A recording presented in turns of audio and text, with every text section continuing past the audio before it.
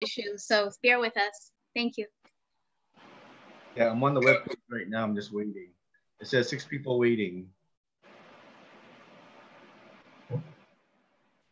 Hi, John. Thank you for Hi, fixing this. Tanvi. Okay, yeah, uh, we're on Yeah, there, we're- but but it's not the right one. oh. It's not the right link. hmm.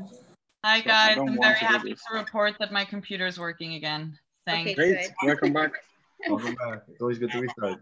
So um Nico, could you post the new YouTube link under the old event so that when people go to that YouTube link, they're not lost, so to say?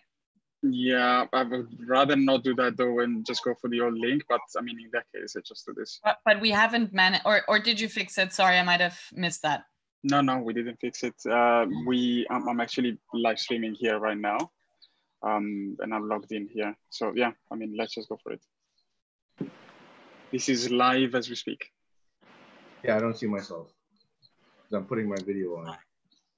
Nico, can you make me the co-host? Yeah. Thank you. And you. also Leonor. Thank you.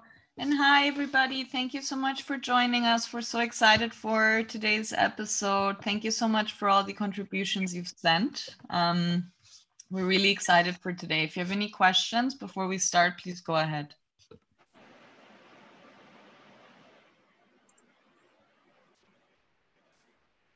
Okay, perfect. So I think the only thing to remember in that case would be to, um, when you're speaking, turn on your camera. When you're not speaking, feel free to turn it off. And of course, unmute yourself when you're speaking and mute yourself when you're not speaking. Okay, perfect. Thank you so much.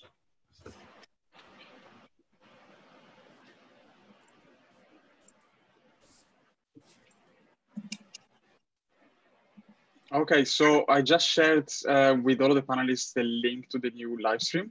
Uh, so we have a new link. What I'm gonna do is I'm just gonna share it on Trello and then uh, we'll go on uh, social media live uh, in, uh, I'd say one minute. And it's on the old YouTube link as well, right? Now on the new one, which I just shared with you guys. Yeah. Also, Oh, no. I guess on the old YouTube, I'll make a comment that it's changed. Yeah. I will, uh, I will just delete it. It's just, Nico, that we shared this quite widely. So I'm just worried that people will think it's not happening at all. So just create, just put a comment in that um, link and say that Yeah. it's been changed. I'll do it now. Thank you so much. Thank you. I'm gonna turn off my video. I don't want to be seen. Aloha. Kamanachin. Kia ora. Hello, everyone. Kia ora. Welcome.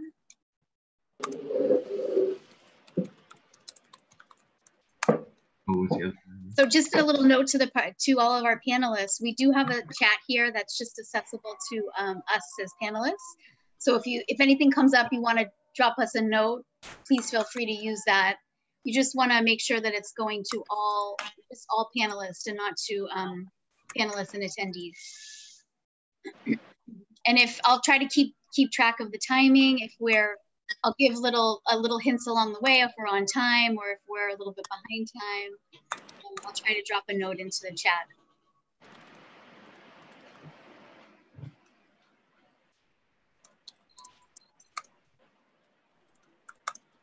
And um, Victor, I think you're in touch with John. Do you know if he'll be able to join us today?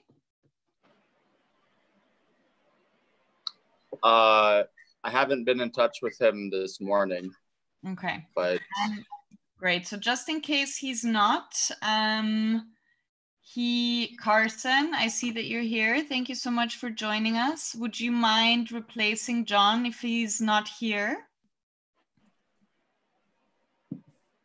Hello, hello. Hi. This is this um? Uh, all right. So hello everyone. This is Carson. I wasn't really ready, so because as of last night, I think everyone was in. Well, of course, as as promised, I can wear the the, the team's jersey just in case someone is not in. No, but it's um if you don't have anything prepared, then don't worry. We'll just if John doesn't come, we'll just leave we'll just leave that part out. It's just that I would need to let Jayathma know um with enough time ahead so she doesn't mention him. Um Okay. Okay, thank you, Carson. Thank you.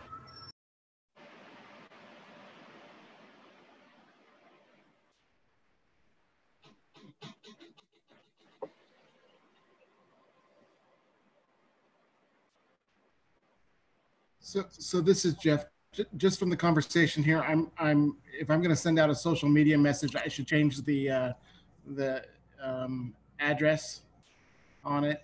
The YouTube link to the one that was sent in the chat, exactly. Okay. Yes, let me send you a um, draft tweet right now for a live now so that uh, you have everything you need. On it. The YouTube link to the one that was sent in the chat, exactly. Okay. Yes, let me send you a Good morning, everyone. Hi, Hi. Jay. Good morning. Hey. Good morning. Hello, good morning. Uh, Jack, uh, if one of our panelists, John, doesn't show up, would would you be prepared to talk for four minutes on mental health from your context? Um, yeah, if John doesn't rock up, happy to.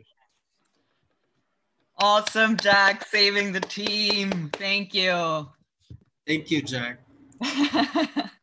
Okay, so I will change John's name to Jack Collard. Jack, could you just quickly tell Jayathma, or I can change it, Jay, and send it to you again, just or maybe type it. Oh, we have chat? we have John now. Ah, okay. Oh, awesome, perfect. Hi, John.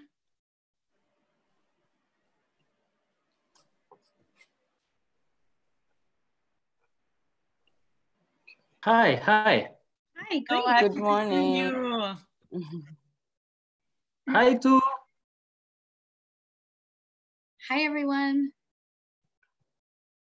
So just a reminder also to our panelists, when um, you have the option to turn on your own video, if I don't see that you come on, I'll give you a little nudge here to turn on your video. You'll get a little message from me and then you can accept and your video will come on. After your segment, if you could shut off your video, that would be great.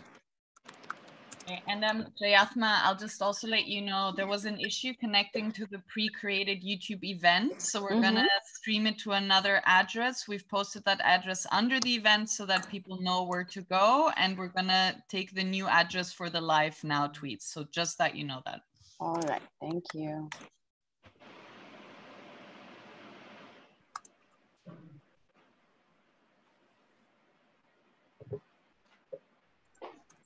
Okay, so we're at the hour, 8 a.m. Shall we, um, shall we launch?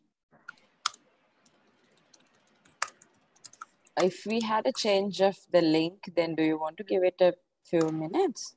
Yeah, Like maybe a minute or two? Yeah, so yeah. People can figure it out. good idea. Jay, is it okay if we, I'll share the, I'll flash the flyer just for about like 10 or 15 seconds. And as usual, I'll just welcome, hand over to you. Thank you. Yes, sounds great.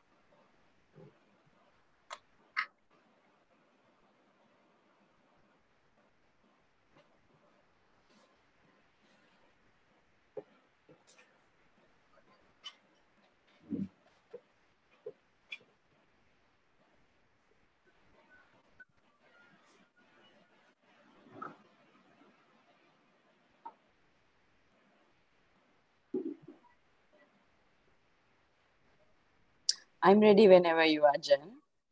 Okay, okay, everyone. Um, we're going to go live now. We're going to start broadcasting. Good luck. I'm sure it's going to be a wonderful session.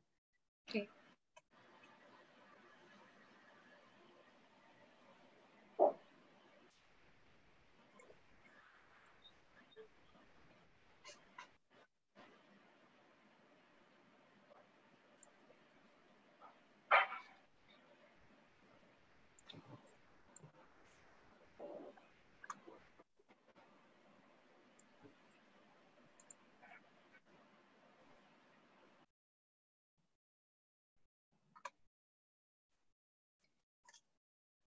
Hello and welcome to the Coping with, COVID webinar. Thank you for joining us today. Over to you, Jayathma. Thank you very much. Welcome, everyone. I wish you a good morning, good afternoon, good evening, wherever you are in the world right now. I hope that you are safe and you are well and you are taking care of both your physical and mental health and those who are around you.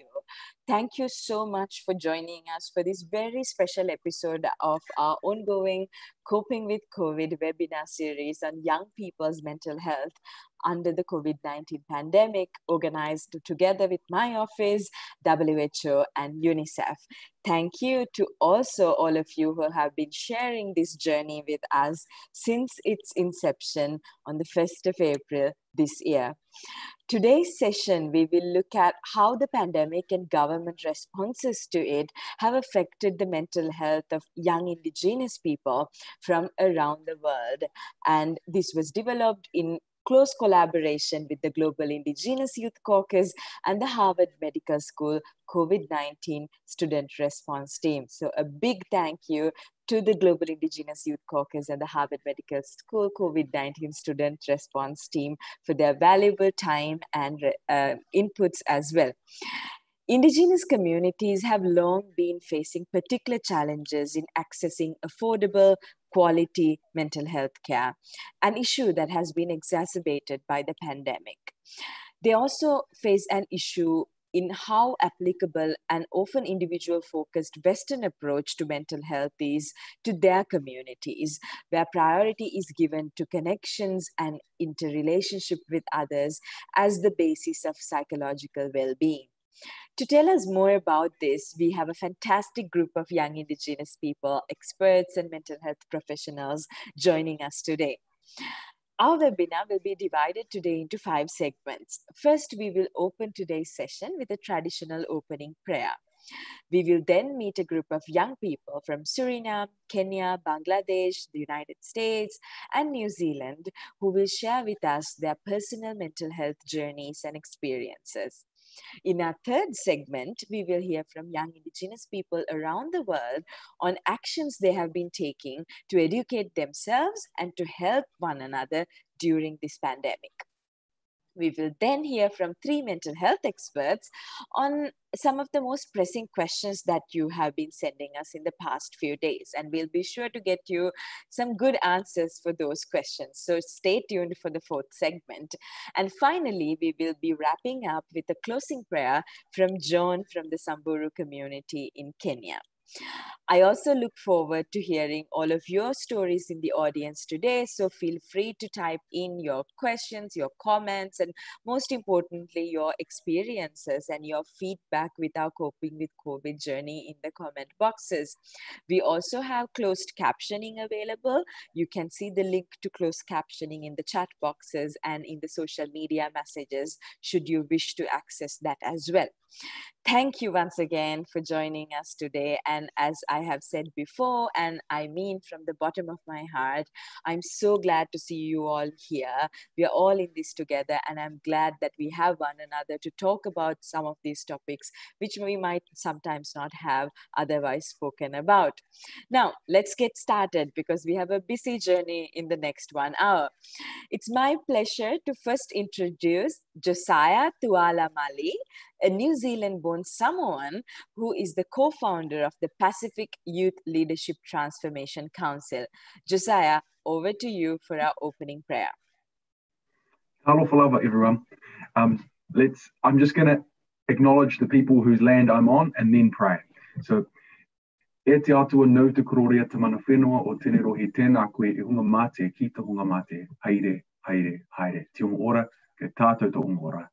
So, uh, kia ora te Ngāti Toa, that's the whenua, the land that I'm on, that's the indigenous people of where I am. And so, um, and acknowledging them, I'd like to give this karakia for us all in our time together. E te atua, ho mai kia mātou, tō rangamari e, tō aroha, tō kaha, tō māramatanga mō tēnei rā, āmine. Give us peace, love, strength, understanding for this day. Amen. Thank you so much, Josiah. What a beautiful way to start our session together. I would also now like to ask you, Josiah, now that we have you on the screen, um, you have been so vocal about mental health challenges and particularly about those which are facing Indigenous young people. Tell us a little bit about your personal experience. How have you been experiencing this pandemic as a whole and what impact has it has on uh, your mental health and how have you coped with it so far? Well, as you said, Jay, um, I'm a New Zealand born Samoan, so I didn't grow up on my Indigenous land um, when I was young. So um, that's had a big part of me. Well, it's had a big impact on my whole life. Um, I have a different experience, like many of those who are in the diaspora. You know, we we straddle two different cultures, two different worlds, maybe, and um, and we might not have lived in our Indigenous homeland and that's um and that's something that, that so that this affected me differently, but for the Samoan young people who couldn't get back to Samoa, so there are many who are trapped all around the world or who are here in Aotearoa in New Zealand and want to be in there on their indigenous soil, you know, rooted and, and well in the space because when you're on that physical, you're in that physical connection to the land, um, you it helps with your wellness. So when you're when you're not there, that's really hard. But for me, for those of us who have grown up somewhere else, but we still have the island in our minds and in our hearts through the language, the culture, the stories, and the heritage. That's been what we've been keeping on doing. And so it's been very special to see um, online villages start. So we've, we've had for the first time a Facebook village, which is something I'd never thought could be possible. We've our traditional dances, our siva, uh, uh, and things which we've been able to do over Zoom. That's the first time I've ever seen our elders and our community do that. Um, but it hasn't all been easy, and, and we all know for um, many of our Indigenous young ones, life can be harder um, due to colonization and loss of language um, and other things which might help us stay well. So I really appreciated it when a Samoan young woman up here in Auckland, ngā, ngā Fili Tupuai, when she wrote something, and I just wanted to read a small part of it. Um, our school opened today. Spent it watching people swap leavers notices for CVs because money is low and mouths got to feed. Remembered every joke about high school dropouts from the mouth of a high decile school kids that didn't work a day of lockdown. It's ironic. Watched our teachers try their best with what they had while richer schools have unused resources locked away in unused labs. It's ironic. When level three came, I watched my friends bury their youth in every graveyard shift.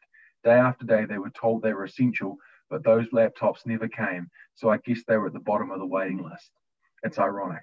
And there's much more that she wrote, and I'd encourage everyone to read read um, what she wrote. But she talked about how for um, during our lockdown here in New Zealand and around the world, many of our Indigenous young people ended up being the essential workforce, but aren't treated like essential. You know, our mental health often is the, some of the least valued mental health because of, of many different systemic problems.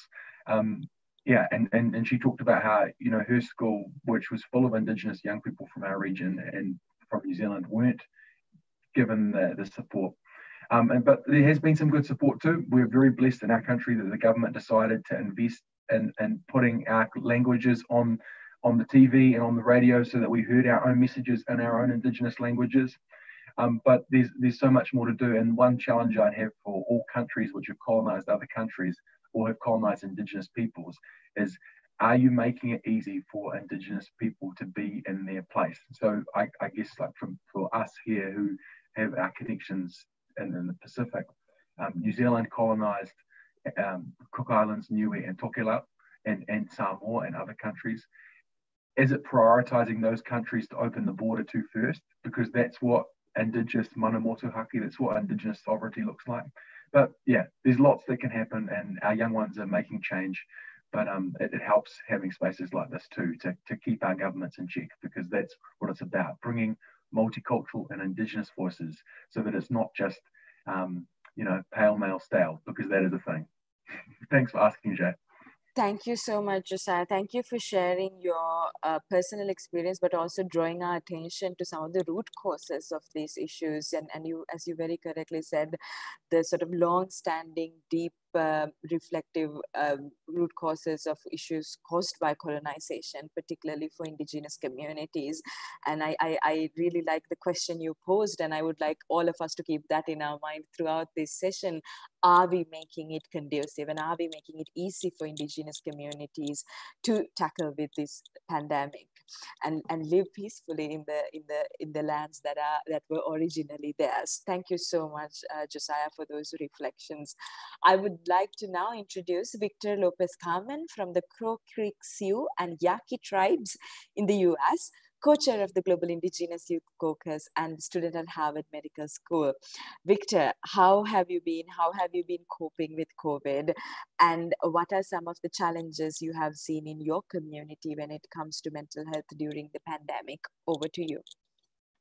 Hi, good morning. Thank you so much, Athma. Um, and uh, I just want to say what an honor it is to be here with all of the Indigenous youth from around the world it's uh, such an important conversation.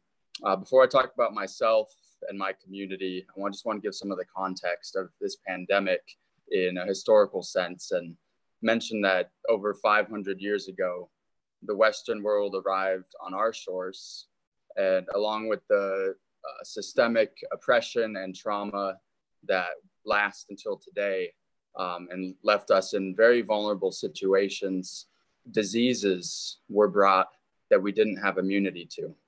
So this is not the first time that our communities are facing disproportionate health impacts made much more deadly by policy, social factors, and systemic inequalities outside of our control and against our vision for our communities. And we come to today, and these intergenerational traumas having to do with the stories we heard from our grandparents, and the stories they heard from their grandparents, uh, they can strike fear in our communities and our Indigenous youth. Um, our elders, in many cases, are dying from the pandemic, whether it be through the virus itself, the social inequalities that make it more deadly, uh, the food insecurity that came as a side effect of the shutdowns and the job losses. Um, our elders are being hit, and this for us represents a cultural loss uh, because our elders carry our stories, our languages, our traditions that have been hard fought. Uh, many of these have been kept only through the sacrifices of our ancestors, having to fight for to retain this knowledge. And then we see this virus coming in that that it, it can be quite scary to indigenous youth who want to learn their languages and practice their cultures and want to spend time with their grandparents. Um, one of the problems I think is that when Indigenous youth are, are fearful, when they're scared, they turn to their grandparents. But in these times, it's much harder because oftentimes with social distancing and communities, it's not possible. But at the same time, where else do they turn to? Well, they'll look into the media. These days, Indigenous youth um, in the United States are quite tech savvy, but our stories also aren't represented in the media or the data. Um, when it comes to racial and ethnic impacts of COVID 19, we don't see our stories represented. And I think that this can lead to lack of hope, that no one's paying attention to our communities, no one's paying attention to us. There's also a lack of robust response from the government. So a lot of our communities have had to shut down our borders. My community had to do that. We got hit. Um, we, and one of the only things we could do because we're in such a vulnerable situation is shut down our borders. Um, but without help from the government and without trust that's been built, I think that also leads to some hopelessness as well. Um, for me personally, you know, going to medical school during this and learning not only about how deadly the virus is, um, but learning about the ways structural inequality um, and lack of response from, from governments and countries makes this more deadly and exacerbates this historical oppression has been quite distressing, especially for myself, again, not seeing um, a response from, from society that recognizes that we are dealing with very disproportionate impacts of COVID-19. Um, but like Josiah said, I've seen a lot of hope as well in Indigenous communities. We have our ceremonies. Um, a lot of them have been canceled, but we've taken them into our households. We're still praying. Um, they've moved a lot of our um, traditional gatherings online, like powwows, and that's been really powerful. A lot of stories have been shared through Zoom, chances to connect um, with relatives, and uh, a lot of, I think, people taking a lot of responsibility in communities, and our leaders have been very strong in the response um, from my perspective in reassuring our communities that um, we've been through this before and we're going to get through this again. Thank you. Thank you very much, Victor, for that strong message of resilience. But I, um, I also recall the very strong article you wrote to Teen Vogue uh, during the beginning of the, the pandemic, talking about these same issues. But um, I, I very vividly remember something you wrote about now being a part of the medical sector and being in medical school, how you also see structural racism and, and systems of oppression and how that makes the virus and, and other health issues more deadly towards um, uh, indigenous people. And, and you called for more culturally sensitive accessible in indigenous languages the information being better at recruiting indigenous students as as healthcare workers and experts and more willingness to put actually money into data and research on um, particular health impacts on on indigenous populations so if you haven't read it i, I also highly uh, encourage reading victor's op-ed at the teen vogue magazine it was one of the inspiring um, instruments that I read that actually inspired me to convene this gathering, particularly on Indigenous youth, together with uh, the Global Indigenous Youth Caucus as well. So thank you, Victor, for holding our feet under fire, and please keep being the strong voice you are for Indigenous youth around the world. So from the US, now I'm going across the ocean to Bangladesh, virtually, of course.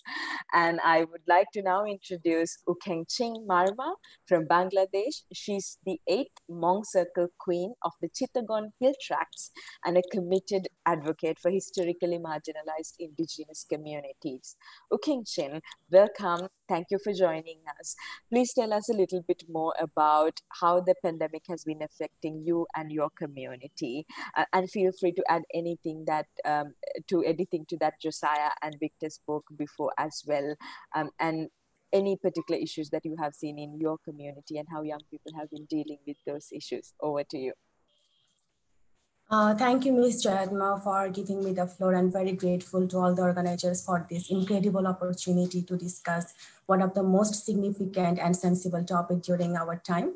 Uh, Jennifer, can I have my slides, please?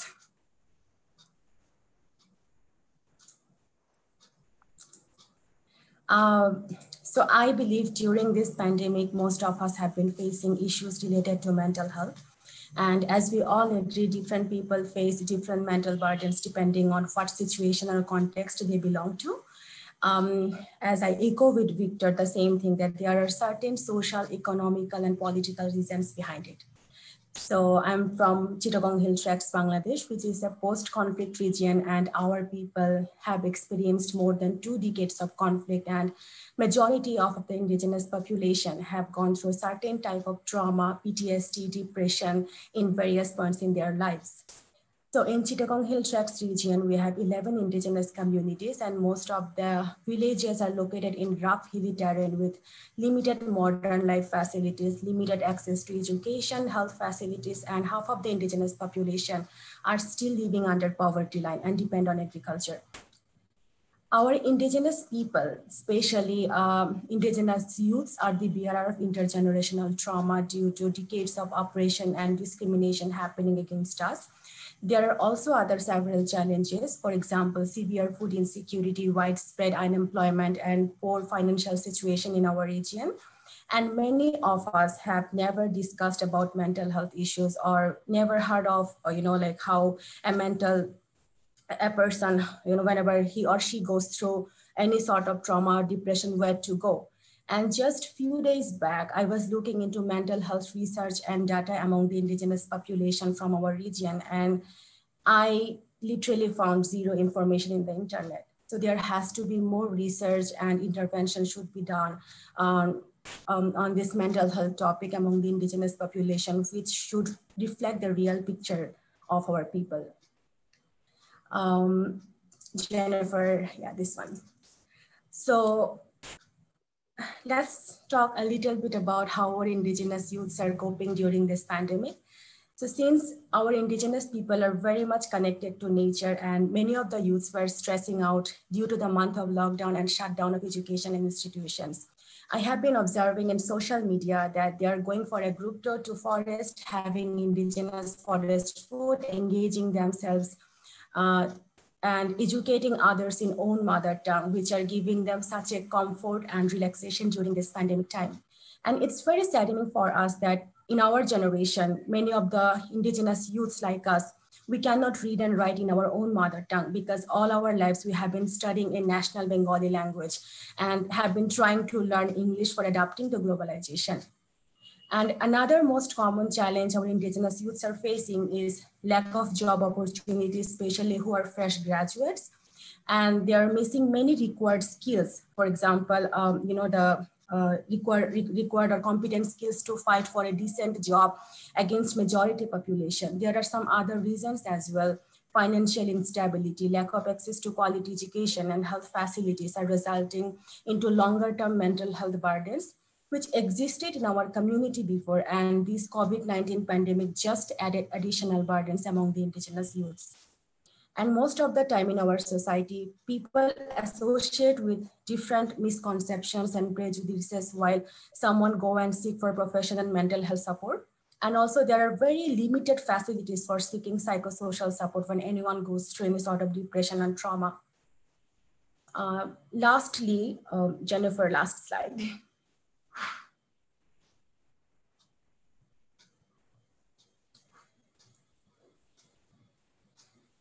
Yeah.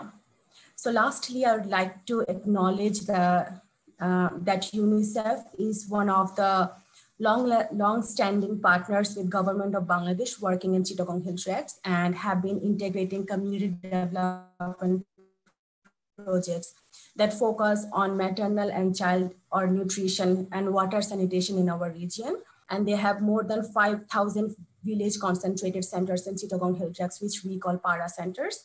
And in those para centers, they have a special package for caregiver mm. on mental health support or peer-to-peer support system. Um, and at the end, I believe UNICEF's projects are very much significant and influential to fight mental health burdens in current or longer term situation because children are our futures and mothers are the role players to build a nation. And we can certainly expect an, an educated indigenous generation in next 10 or 20 years with required skills who can fight for their rights and also overcome mental health burdens in Chittagong Hill Tracts. That's it. Uh, thank you so much. Thank you very much, Ukenshik, for that very informative presentation. Also, really great to see the work that you're doing in your community along with other young people to make sure that not only yourself but your peers are also taken care of. I would now like to introduce John Tumoki Lekukshula from the Samburu community in Kenya.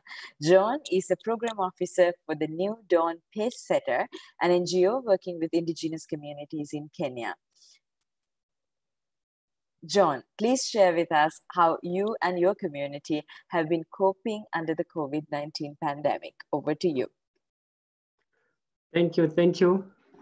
Uh, first of all, uh, I'm an indigenous youth from the Northern Kenya, from a tribe called uh, Samburu. And actually, uh, in Samburu community, we have, uh, we have been we have gone through so many challenges in relation to mental health and actually also from the COVID-19 pandemic that has just uh, come into our midst. And first of all, uh, in our community, we believe in we believe that if someone has a mental health issue, it is something that uh, has been maybe caused by a curse from the ancestors. And that's actually, it is uh, believed that it, it has been inherited from ancestral point of view. We also believe that if someone has a mental health or someone is not uh, okay, we say that that person has been bewitched.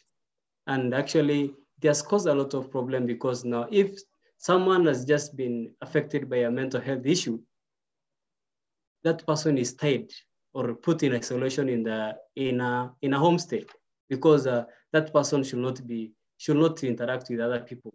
And actually, it is uh, connected with the disability issue because if if you are if someone is disabled or a child has a let's say a disease called a, a, a epilepsy or something of that sort, that child is isolated. And actually, we have now come to realize that many children who, are, who have uh, mental health issues connected to disability, they are put in isolation because uh, the community itself is not uh, believing that there's a mental issue. It is something that is witchcraft or something or a curse from that family.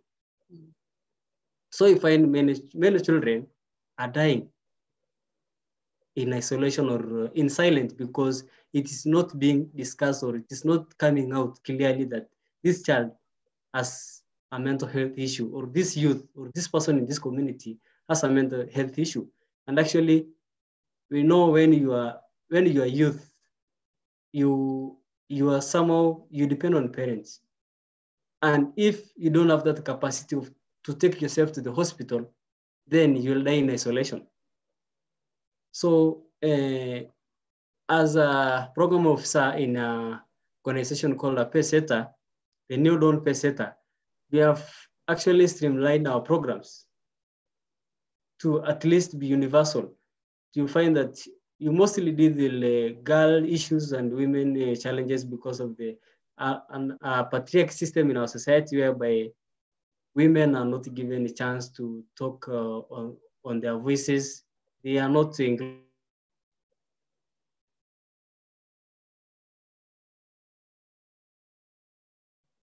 John, do we still have you? I think we are having some connectivity issues with John. So let me go to our next speaker and perhaps I can come back to uh, John when he's back. Um, and our teams will be working backstage to make sure that we can connect John soon again. With that, I would like to introduce Yupta Itowaki from Suriname. Yupta is the chairperson of the Mulokot Foundation, which supports the Wayana indigenous tribe in Suriname. Yupta, thank you for joining us. I really look forward to hearing your story of how you and your community have been coping with COVID. Over to you. All right. Good morning, Taray po Kamanato, Uwayupta. Greetings to you and thank you for um, for this honor. Um, let me tell you a bit about my community. I am from the northern Amazonia region. Um, the Wayana live in Brazil, Suriname, and in French Guiana. Um, uh, Suriname is a country in South America. Um, let me see if I can, yeah. Um, Jen, can I can we have my slide, please? My PowerPoint. Thank you.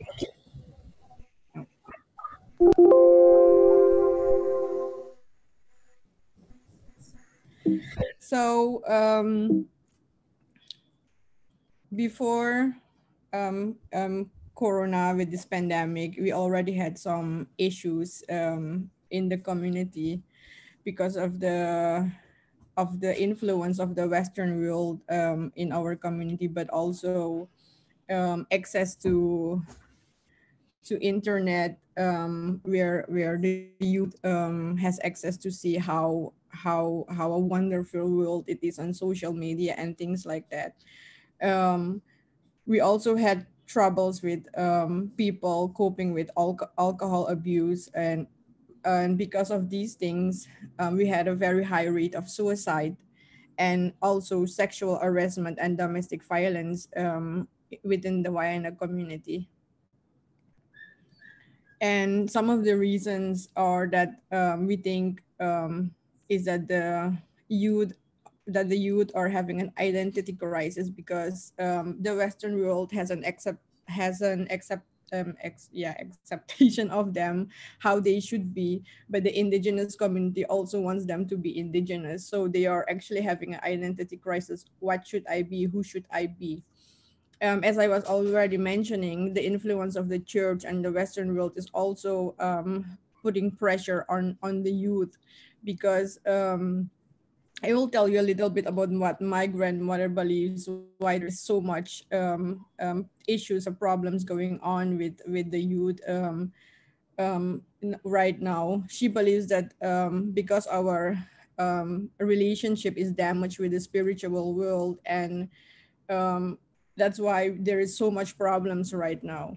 So we are trying to see how we can um, try to try to bring back the our identity. How can we make the indigenous youth proud again and so so that they can make the connection again? Because we believe that um, um, being in harmony with nature and um, being um, having a good relationship will make things good again um, one of the things that we that we believe that um, the youth is concerned about their future.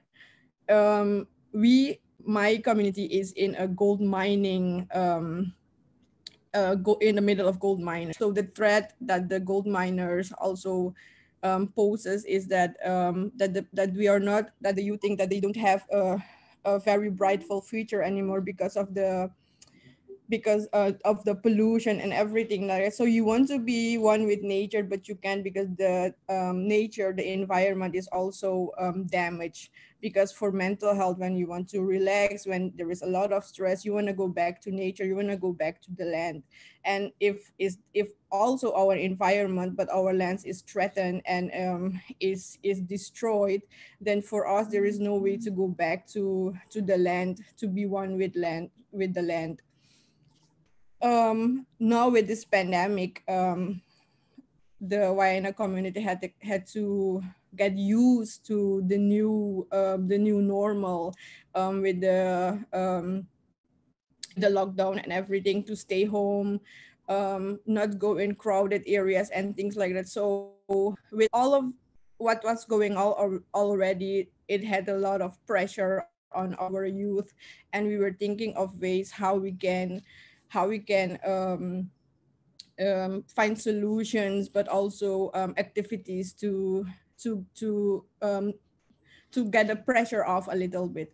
So um, last year we started a project in our community on how can we find solutions or how, how can we um, get the pressure off um, in the Wayana community in South Suriname and um, it's been going on really great. We've also done um, trainings uh, uh, of of young women and and some and young men to see how they can help and guide um, victims um, of of violence, but also of uh, mental health, of alcohol abuse, and things like that.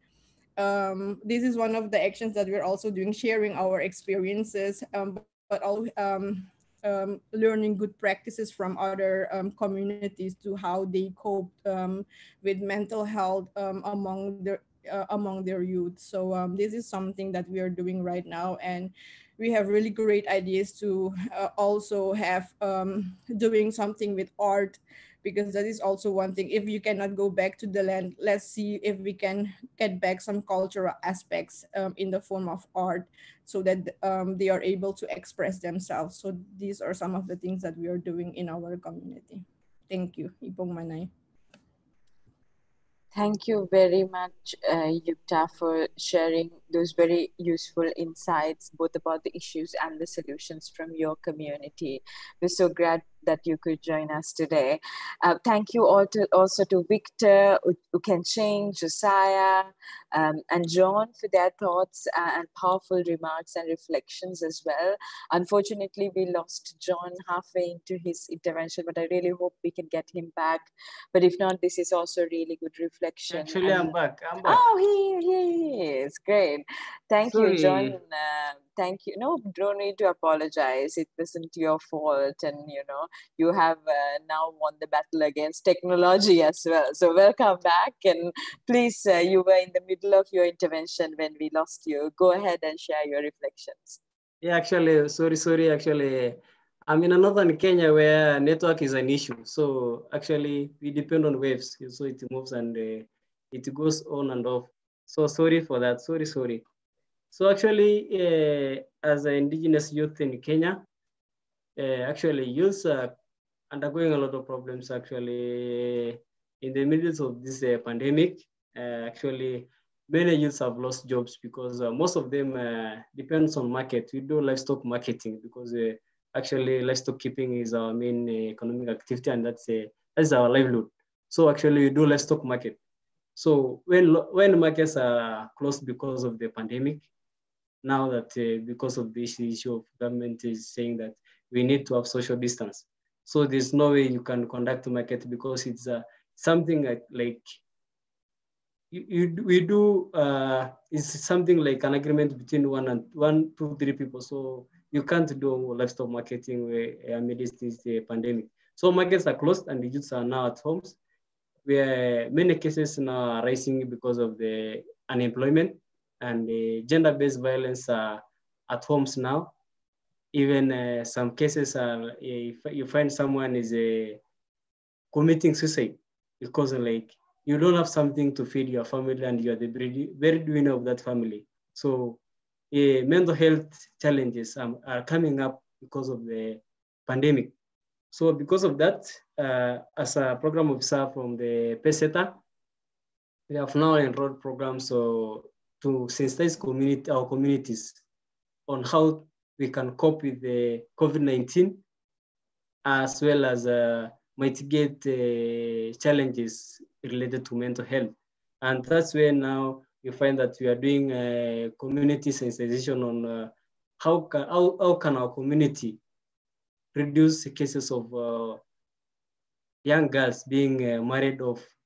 We call it early marriages. Early marriages are rampant because of, you know, the community believe that a child or a girl is, is a wealth, source of wealth. So you give out the, the, the girl to as a bride, and then also you get a, you get dowry, and that's what uh, our community term it as a wealth.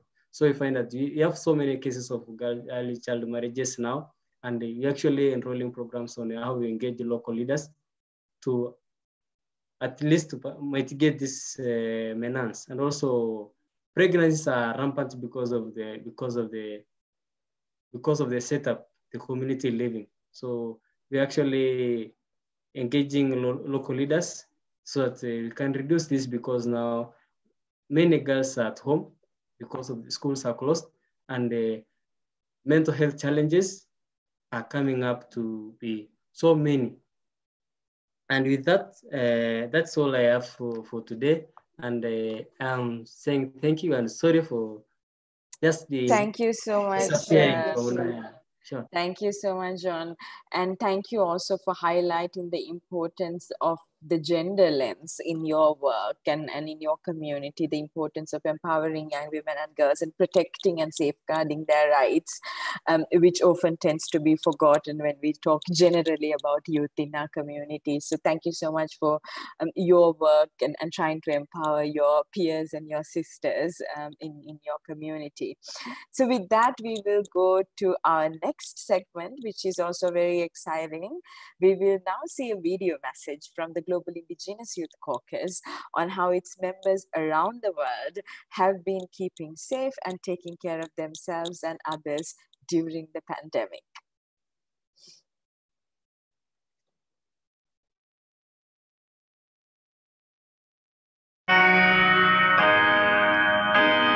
kama vijana kutoka jamii asili, virusi vya corona ama COVID-19 vinaonekana kuwa hatari kubwa sana. Young people are not immune. We can carry the barriers and the lives of all elders at the risk. Wankanki na tankanki, at kia wo unkie, we chu you happy. Hana wo lokota, you ha umpi. O we chakia, unku pikta na iha we chunk tapi. We help our elders by running their errands for them and picking up necessities so that they can avoid crowded spaces. Um, we chop their wood, leave seeds for them to plant, um, as well as asking them to share stories either over the phone or from afar. We find creative ways to support them while protecting them from exposure. ကျမတို့ရဲ့မိဘဘိုးဘွားတက်ကြီးရွယ်အိုတွေနဲ့မိသားစုဝင်တွေကိုသူတို့နေကောင်းချမ်းမှရှိပါရဲ့လားလို့ကျမတို့ကြည့်တဆိုင်မြင်မြန်ပါတယ်သူတို့မှာခန္ဓာကိုယ်ထဲကပူနေတဲ့ခံစားချက်မျိုးခံစားရတာမျိုးရှိလားဒါမှမဟုတ်ရင်သူတို့ချောင်းဆိုးနေတာနှာစီးတာလဲချောင်းနာနေတာဒါမှမဟုတ်ရင်တခြားဘလို့ဝေဒနာလက္ခဏာတွေများခံစားနေရတယ်လေလို့ကျမတို့ကြည့်တဆိုင်မြင်မြန်ပါတယ် Tuasa tui, te hari kisia, sieme vechivo, laima, en yowe, amamta te te ka mamtamem, bewe yowe te llore. para reducir nuestra exposición al virus y también así dejar de regarlo. Preferimos quedarnos en casa con nuestras familias, evitamos viajes innecesarios y evitamos las áreas públicas también. Ho'o mau mako i ka pale kana ana a me ka mae mae ana o kou mako wahi aha. babyeyi bacu bashiki bacu bene wacu mwirinde icobatera guhamuka Fear will not overcome us because together, if we each do our part, we will get through this and we will remain strong.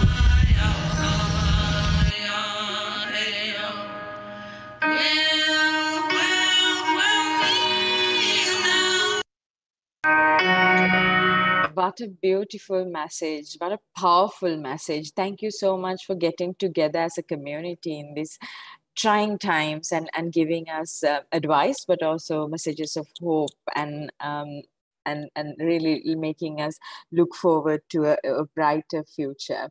Now we turn to our Indigenous rights and healthcare professionals to answer the burning questions that you have sent us ahead of this session on Indigenous youth and mental health. I would first like to introduce Dr. Gunjan Dhonju, a child and adolescent psychiatrist at the Kanti Children's Hospital in Nepal. Dr. Gunjan, thank you very much for joining us today. A question we have received repeatedly is how can we best approach the challenge of ensuring mental health services that are culturally safe for Indigenous peoples across the world?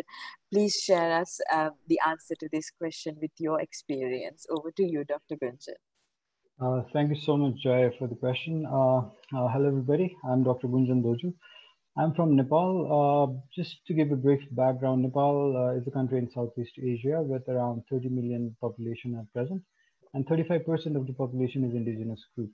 Uh, and it consists of 126 castes and ethnic groups, and over more than 100 languages are spoken. So I myself am from an indigenous group called the Newars, uh, which is uh, um, um, mostly uh, the people in the capital city at, at present. So coming to that question about how to make mental health services more friendly towards all these cultures of the indigenous group is like, we need to uh, first of all understand that uh, the indigenous group come from different kind of social cultural backgrounds. And uh, they have varying concepts about uh, well-being and health and uh, stress illnesses and they have their own ways of coping. And similar to that there are also a lot of superstitions that are associated with it. Like it, some consider it a, it a curse some say it's black magic witchcraft sins of the past and there's also a lot of stigma associated with either mental illnesses or disabilities and the other associated things uh, and many of them actually visit the faith healers. They might be the first person who they go into contact uh, for mental health related issues. So there's a huge gap between what is actually needed and uh, what the services are uh, available. Like you may set up a clinic, but then if people do not know that it's a mental health issue, uh, but then they think that it's uh, because of some curse, uh, then uh, it might it might be an issue. So uh, there's a there's a huge gap which needs to be addressed. And what I feel is like from the time that we design the mental health services, we need to incorporate the mental health services into the existing social and family systems that are present in the indigenous groups. We also need to engage the indigenous groups and youths uh, from the point of the very conceptualization of those projects, from designs and implementations. Uh, so these are, I think, factors that we really need to consider. Uh, at present, uh, we are working with uh, a community uh, child and adolescent mental health care package with UNICEF in Nepal. we have also recently started a COVID-19 related child and adolescent mental health issues related project with UNICEF just recently. And in both of these uh, projects, like when we uh, developed the program framework, we had to consider the, uh, the, the, cultural adaptation parts so that uh, when we take a particular framework, we have enough variables that are flexible enough to allow the adaptability so that it fits the needs of these indigenous groups. And then we empower them and then we engage them as much as possible from the very beginning. So I think when we uh, take this kind of approach, it would probably uh, you know encourage the youths from the indigenous groups to uh, pursue mental health uh, in the form of studies for themselves later and also to work in this field in the future. Thank, Thank you, you, very much. Thank you, Dr. Gunjan. I would now like to introduce Mr. Geoffrey Roth, an expert member of the United Nations Permanent Forum on Indigenous Issues. Thank you, Geoffrey, for joining us today. Indigenous people often live in remote places and speak only their languages. One of the questions we have received is how can we make mental health services accessible in these contexts? Geoffrey, over to you.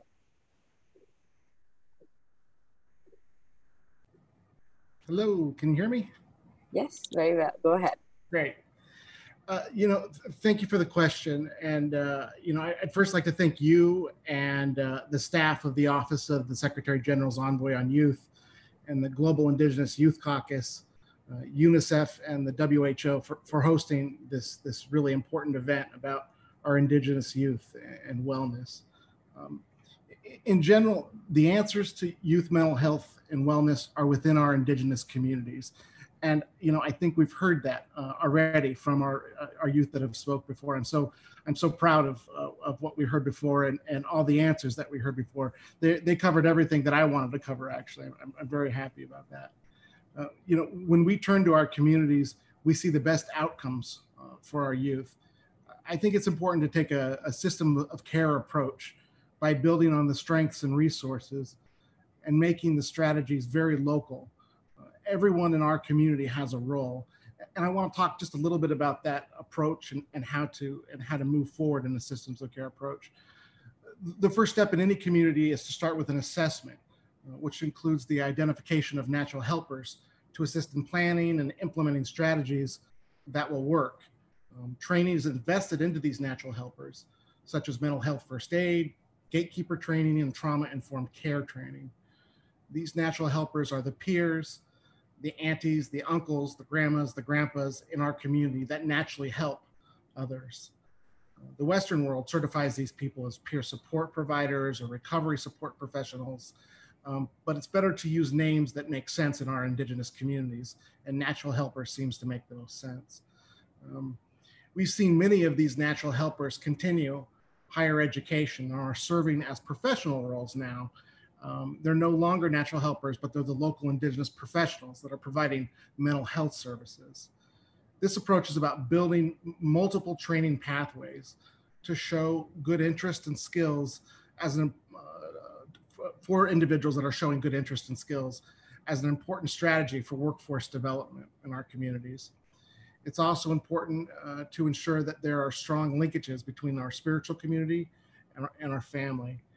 And that there is support for wraparound models in our, to train our community in care coordination and working as part of a care team, uh, ensuring that linkages to mental health providers are also very strong. Mental, mental health providers can be coaches uh, if they're present in the communities, and I, I think you made reference to that, uh, to these natural helpers and help them navigate uh, certain situations and consider the best responses.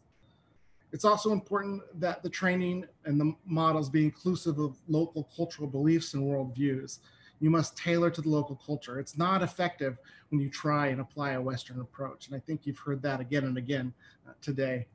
So as you are creating a system of care team approach that values, it values the expertise of the local people to help themselves. The system care approach is all about coordination of linkages of services and support. So this is about creating policy and process and uh, meeting comprehensive needs expressed by the voices of the local youth and, and families.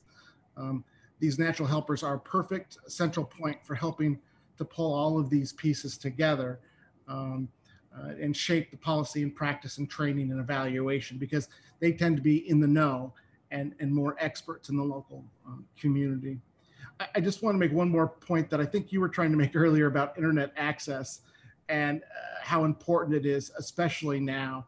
You know, linkages to peers and natural helpers or mental health professionals professionals is absolutely vital, and it is occurring uh, virtually. But we need greater connectivity uh, globally uh, for our uh, indigenous communities, and that's something that we need to work on. So thanks again for the question. I really appreciate it. Thank you very much, Geoffrey. Also raising the issue of connectivity. I was going to raise it, but then we got John back. But it was a really good example of um, the challenges, but also the resilience that Indigenous youth have when it comes to really tackling these issues. But thank you for calling our attention to these very important issues. Now, I want to introduce Alec Calac, member of the Pauma Band of Luiseño Indians, one of the 574 federally recognized tribal nations in the United States, and currently a medical student at the University of California, San Diego.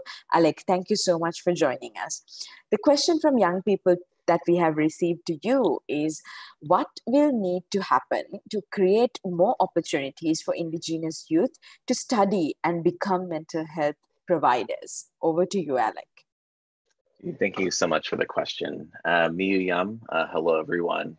Um, I think we've heard you know so much from our speakers, and again, kind of covered what I wanted to cover. But um, you know, it's it's an honor to kind of share my student perspective, um, especially at this time.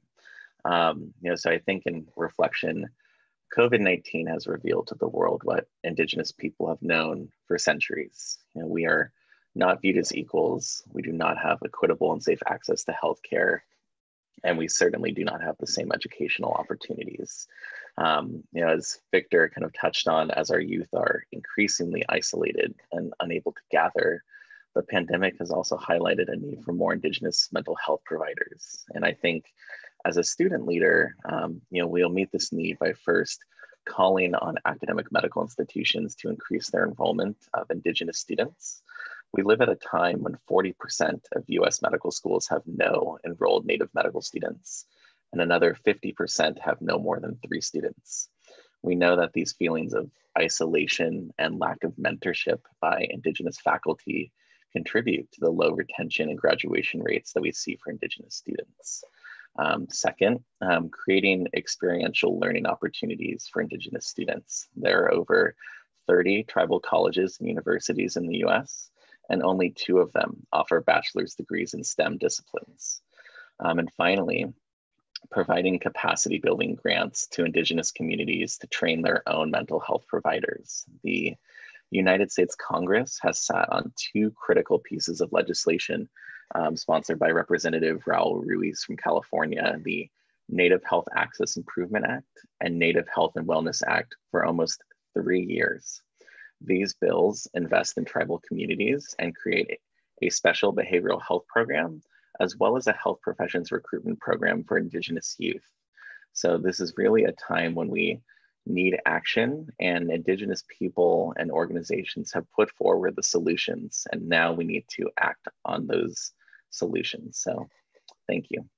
Thank you very much, Alec. Thank you also uh, for sharing those very stark numbers. And I think we need to be raising these um, more and more to get the attention of those who are in power so that Indigenous youth can have equal access to education and, and the services that they need to empower themselves and to realize their fullest potential. Thank you again to Alec and to Geoffrey and Dr. Gunjan as well. We truly appreciate you being with us here today and sharing with us your expertise. We have now come to to the end of our prayer, uh, end of our Q&A session and also our webinar. But before we part today, uh, I want to invite John back, our resilient John, to take us through a closing prayer. John, the floor is yours.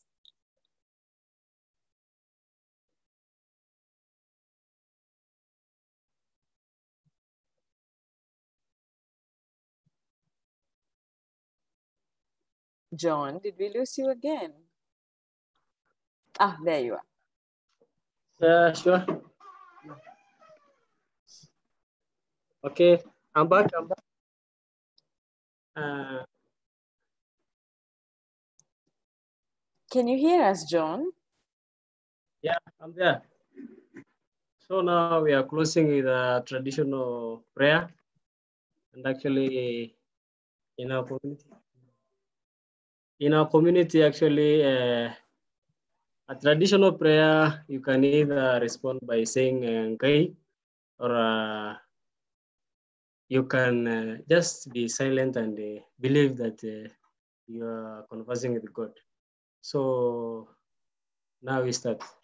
So mitoro bro yung kai, wisho yung kishon, mitini ngopo agani kitama tanapari, tundi ya po ke kia talaltongana le New Zealand, Kenya, le Nepal, le US, ogutualang po ke le UN, WHO, UNICEF, na mitini ngo yung kai po ke aniki le kitama tanapari. Mitiri sesi yung kai alam mo corona, tongo po gani kiti um, kayang tinmo ashole. Yeah, that is it.